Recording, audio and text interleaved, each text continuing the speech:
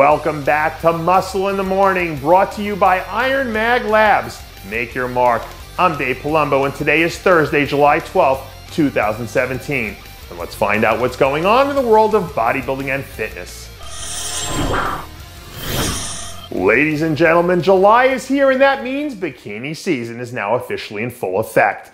And it looks like Species Nutrition athlete Sondra Blockman is almost ready to make her presence felt.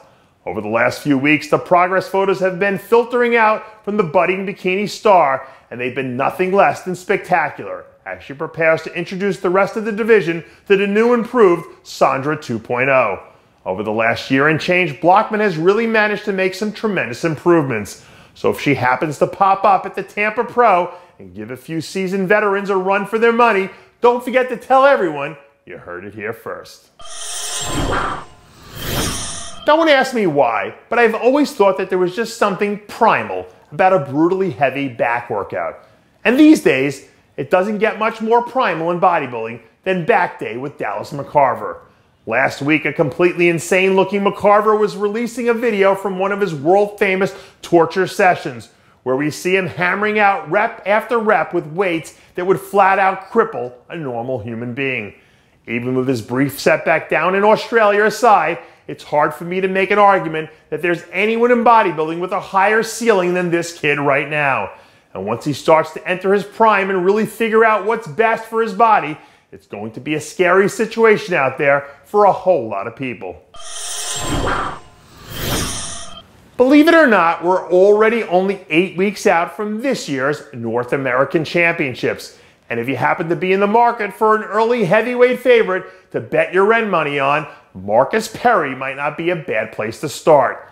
This week, we were able to get our hands on some exclusive photos and video of the former Kentucky muscle champ in action as he gears up to make a serious run towards putting his amateur status in the rearview mirror.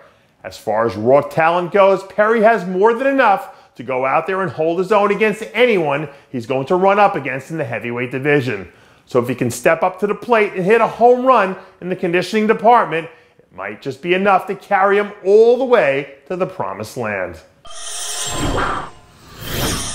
As of right now, we're officially less than two weeks out from kicking things off at this year's Masters Nationals, where it looks like perennial heavyweight contender Steve Polfuss will be coming back to settle a little bit of unfinished business. After taking home the top spot in the over 50 heavyweight division at last year's contest, this time around, Polfuss is looking to bring in a sharper, drier look and finally bring home a pro card that's been nearly three decades in the making.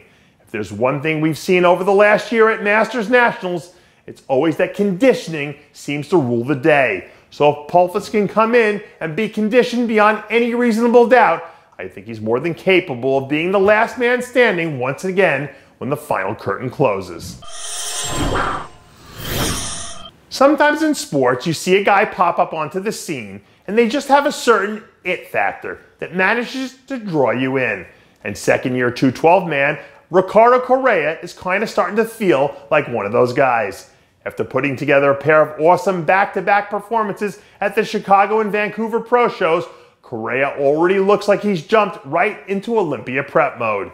The Ricardo Correa we've seen so far this year has been able to bring one of those really dynamic 3D looks to the stage that's almost become a prerequisite if you want to be competitive in the 212 division these days. But now that he's officially punched his ticket to the big dance, we'll get a chance to see if he's ready to stand in there and trade punches with some of the 212's living legends.